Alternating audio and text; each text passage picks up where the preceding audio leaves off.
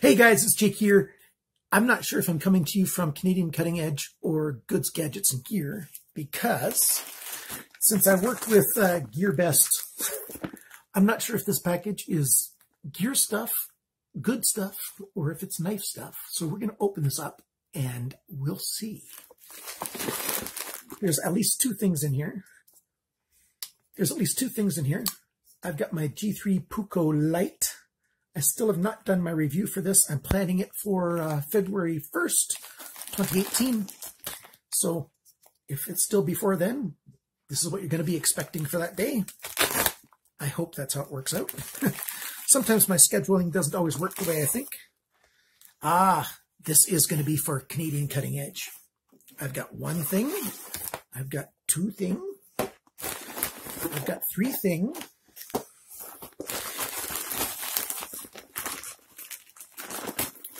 I've got four things. So let's go from smallest box to biggest box, why don't we?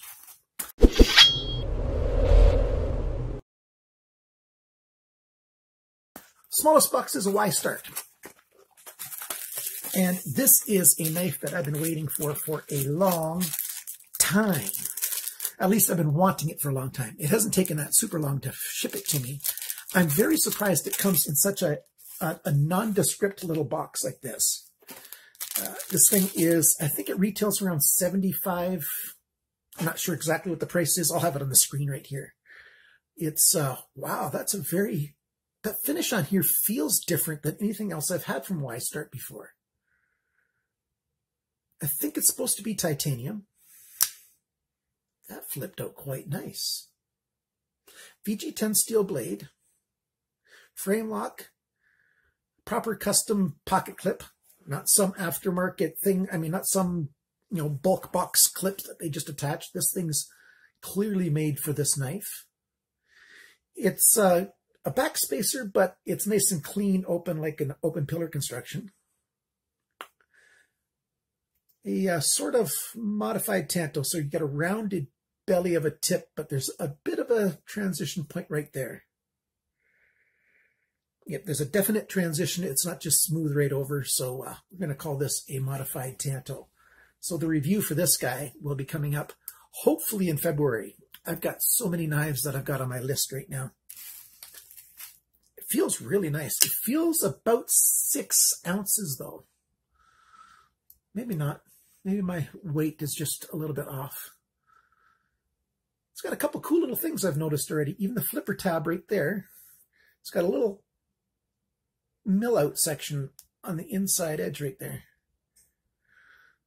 Several cool things, and I do like this in purple. You can get it in just sort of a gray finish as well. Very nice. Next one is from Tonife, and I do like Tonife ever since they turned the corner last year. Uh, I like they were okay before, but they've become much nicer since they turned that corner. And we've got a fixed blade here in this box. And it's a nice little sort of gentleman style fixed blade. It even says Gent-H. But it's a 5CR15 MOV steel blade. So I'm not quite sure what I'm going to think of it. We're going to see how well it performs. Full tang blade, wood handles, and uh, that looks like genuine Kydex. And a nice friction hold there. So there you go. I think this is going to serve well for when I go camping to be a bit of a uh, kitchen camp knife. It's probably how I will end up using this. Uh, let me see. Oh, this way, yep. Holds very well. And of course, you could tie it off and wear it like a neck knife. Very interesting. We'll see what we think of this guy. And wow, we've got four different brands here today. This guy is HX Outdoors. And uh, little magnetic door on here. It's another fixed blade knife. And a little bit loose in there. Maybe it's because like it's minus 20 outside, but I don't think Kydex changes the size very much. But uh, I'm working on building my own Kydex press. And so I'd be able to heat this up and repress it, squeeze it in tight. Uh, I don't know if the average guy would be able to do that or not, but I'll probably be able to do that. We'll see. We're working on it. So Kydex sheath, uh, one of those, um, those.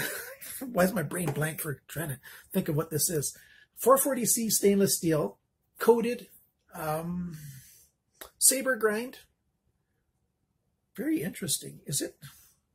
No, that's right. Yeah, saber grind. It's just when it's all black and in certain light, you can't quite see. This is the D161, D-161, also called the Soper V or Soper 5 tactical knife. Don't really like that logo on there. I wish that was just all black right there. But, you know, the blade could be stripped and just have a nice satin look to it. You've got uh, no lanyard hole. I'm surprised. No lanyard hole at all. You've got a hole at the top here and then some on the blade. The handle sort of curves back. It actually fits in the hand fairly well. I've got large hands bordering on extra large. Somebody with extra large hands is going to find this okay. There's, see if I go up like this, look at all that extra room still. And uh, 440C is not a bad steel. Generally, HX Outdoors uses the steel that they claim to use. We'll get a review on this fixed blade coming up.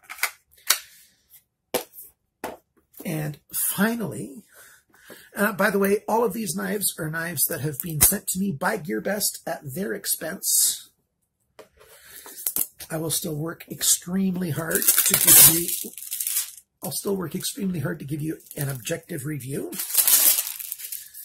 And what do we have? Okay, it's not folding out. So hold. This is a CIMA, by the way. It says CIMA right there. Let's get this box to open up without dumping everything everywhere. There's CIMA. There's the Karambit. I am not a fighter. Like I've, I've done, I don't train in fighting knives and how to use them and stuff. Uh, this is a very thick, heavy AUS 8 major recurve blade, which a Karambit is. Um, so I'm not exactly sure how you're supposed to hold these or use them.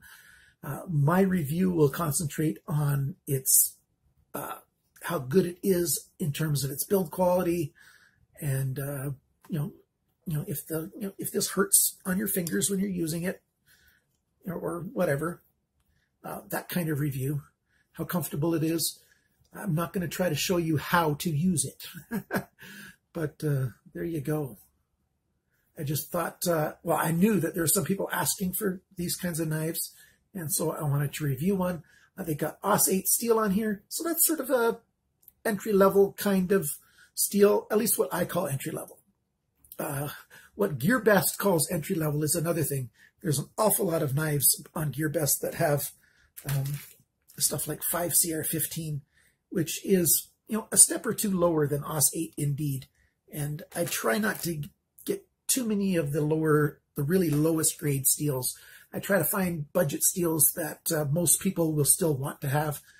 Uh, you know, once you know a little bit about steels, then uh, you start learning that there's some steels that just aren't worth buying because you know, they're just not up to the kind of kind of quality that the average guy wants.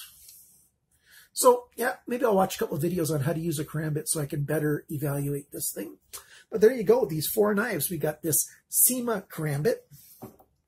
We've got HX Outdoors, a tactical knife. We've got this uh, Tonife, uh, sort of sharp-edged butter knife. Maybe it's a letter opener. And we have, by way of final reminder, this Y-Start in purple or in gray. I kind of like the folding knife the best, just because I'm really much, I'm really a folding knife kind of guy. So thanks for watching this unboxing and uh, very, very initial kind of opinion of these knives. We're, gonna, we're going to get full reviews to you very soon. I am liking the look of this knife more and more as I hold it.